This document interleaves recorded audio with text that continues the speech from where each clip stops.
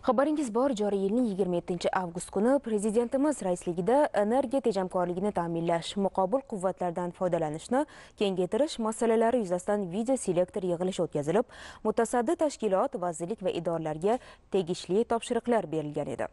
Belgilangan vazifalarga ko'ra tuzilgan yo'l xaritasiga asosan bosh prokuraturada yig'ilish tashkil etildi.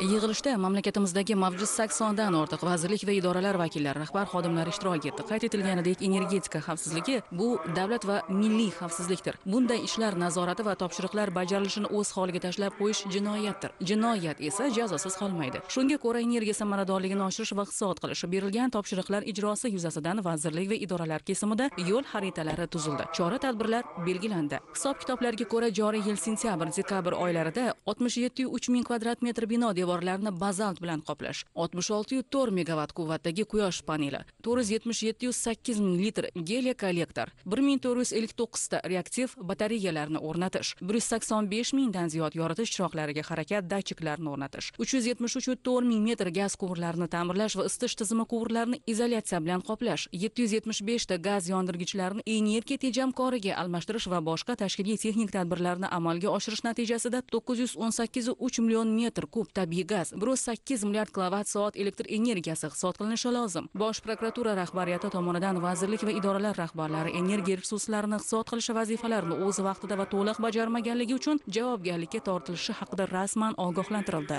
Bugungi kunda mutaxassislar tomonidan bu borada kunlik nazorat qilib boriladigan elektron platforma yaratilmoqda. Bu orqali o'rnatilgan qayta tiklanuvchi energiya manbalari va energiya tejovchi uskunalar quvvati energiya resurslarini iqtisod qilishning maqsadli ko'rsatkichlari bajarilishi ahvoli har bir vazirlik va idora kesimida kunlik kuzatib boriladi. Mutasaddi rahbar va boshqa mas'ullar faoliyatiga shunga qarab baho beriladi deyildi yig'ilishda. Shuningdek kun tartibidagi masalalar yuzasidan zaruriy takliflar ishlab chiqildi va qarorlar qabul qilindi.